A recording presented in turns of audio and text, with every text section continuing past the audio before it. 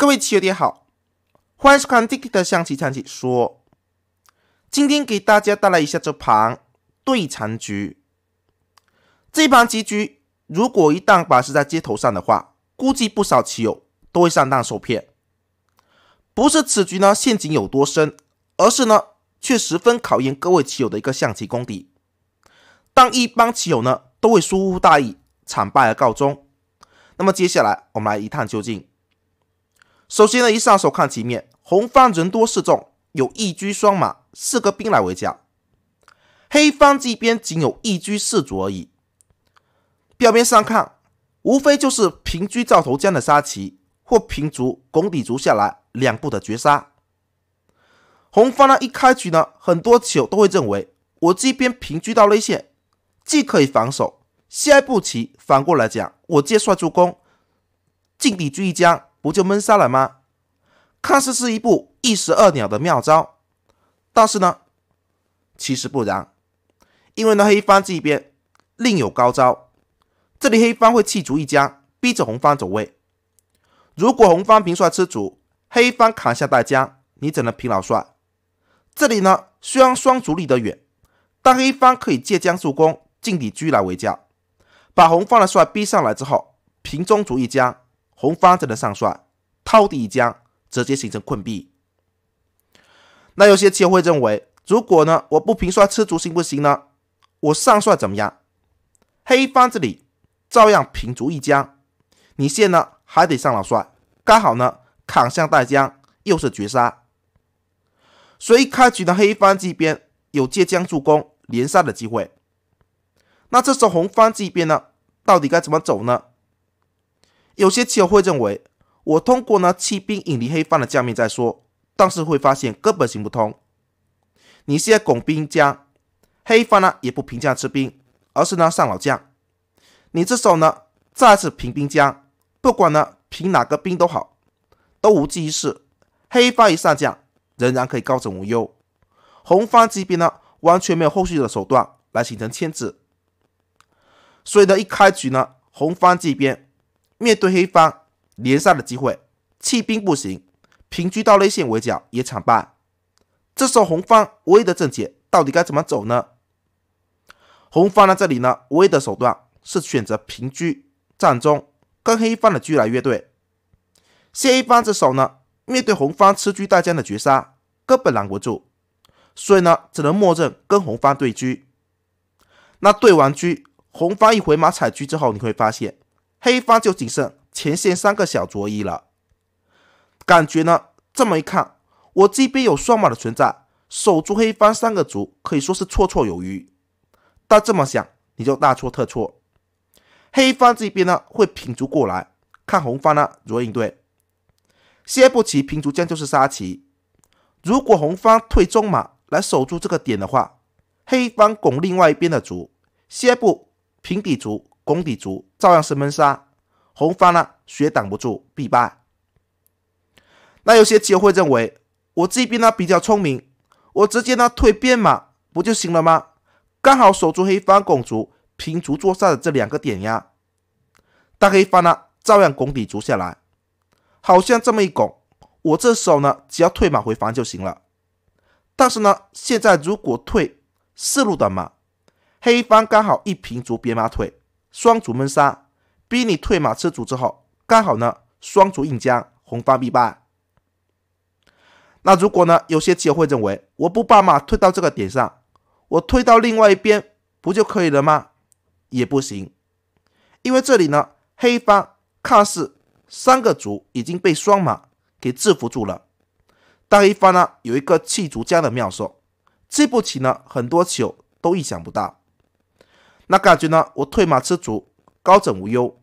但黑方恰好呢，可以平将到内线，把红方的这匹马给双连住。那这一边呢，高马呢要守住黑方拱底卒、平底卒的杀棋，所以双马呢已经被双连了。你现在呢想平兵将过来围剿，却发现根本来不及。黑方借将助攻，平卒吃马将，红方必败。而你现在呢，如果就算不平兵，也毫无意义。因为呢是来不及挡将面的，也无法通过弃兵的手段引离黑方的老将。一旦这么走，红方呢根本赢不了，所以呢，一开局呢，当黑方这边平底卒过来的时候，红方这边呢，如果退马回防，通通都是败招。这里呢，吸取了刚才的教训，红方唯一的镇守，只能呢抓紧机会引离黑方的将面，防止黑方平将刀内线借将助攻的机会。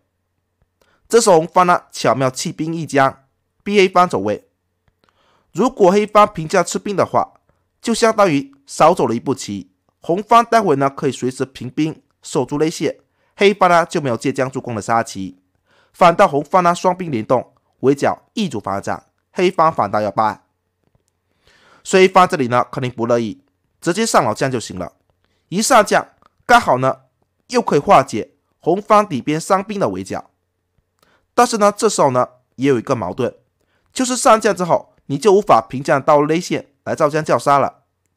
这时红方呢再次退马回防，为时不晚。那一方无奈，只能呢继续拱卒过来，先不平底卒杀棋，逼着红方呢退马回防。现在呢你会发现，红方这边双马已经调整到位，黑方呢又没有借将助攻的杀棋。这时候黑方呢现在三卒根本没有施展的余地。这里呢黑方。又会怎么走呢？黑方有一个过河卒来围剿，静观其变，好像呢拱这个卒是弃卒，其实不然。要是红方这边选择飞象吃卒的话，黑方借将助攻，拱底卒一将，你只能退马吃卒，刚好呢平卒吃马将，红方必败。所以红方这边呢是不能呢飞中象的。有些棋友呢会认为，那我飞边边象总行了吧？也不行。因为一旦这么走，底线就守不住了。黑方平卒弃卒一将，红方虽然不能动，也得退马吃卒。刚好呢，拱底卒照样是绝杀必败。所以呢，此局当黑方这边拱卒过河之后，红方呢是不能飞象吃卒的。那这里红方呢又当如何应对？你也不能退进马吃卒呀。黑方平底卒是杀棋，所以红方呢只能抓紧机会。平高兵来围剿，这时候呢，如果黑方不查，只以拱卒下来，想利用呢高卒来别马腿做杀的话，那么根本呢来不及。红方已平兵，现黑方老将不能动。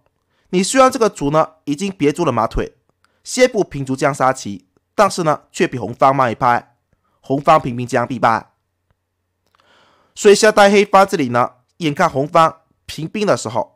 黑方是来不及拱高卒围剿的，面对红方的平兵闷杀，黑方迫于无奈，就只能上老将。那一上将，局面不是很明朗。谢红方呢兵介帅威，平兵将，巧妙把老将给引离开来。现在呢，红方这边就把老将给困住了。这时候呢，黑方呢将不能动，这时候呢离开了中路的将面，红方这手再次飞向吃卒。为时不晚，一旦这么走，黑方就失去了借将助攻的威胁。但好在黑方这边呢有象可以走闲，这时候呢导致了红方这边呢也攻不下来。如果黑方没有这个象的话，红方呢反倒可以取胜。但正因为黑方有象走闲，你会发现，这时候呢你平兵将肯定是没有意义的。黑方可以平将吃兵，所以呢相当于红方虽有四个兵，但其实呢根本没有施展的余地。那双马呢，要盯住黑方底边的三个卒。这里呢，如果随便跳马上来，反倒要输棋，因为黑方平卒一将，你只能退马吃卒，拱卒将，红方必败。所以红方这边呢，黑方只要三卒不按兵不动，你双马呢也无法逃离。这里呢，红方平兵走闲，黑方呢就飞象走闲。你这里呢，如果平兵靠过来抓象，也无济于事。黑方呢又可以平老将占中了，又可以借将助攻来发挥。这时候呢，你落了中象，黑方这一边呢又可以飞象来走闲棋，相当于这么走，红方呢这一边只能跟黑方互为牵制，握手言和。那这一盘残局就为大家讲到这里，非常感谢大家收看，喜欢的棋友就点赞关注，我们下一期不见不散。